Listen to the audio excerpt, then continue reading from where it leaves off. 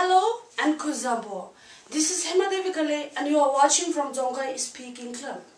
Today I'm gonna teach you the ingredients of a tea in Dzongkha.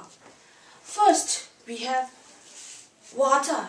In this um, in Dzongkha it's called chuse. Second we have sugar. It's called guramgam. Third we have milk powder. It's opchi.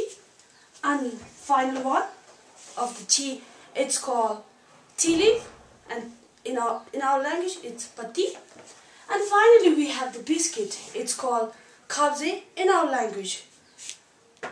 Thank you that's it and I hope to see you in Bhutan soon to to learn this ingredient. Thank you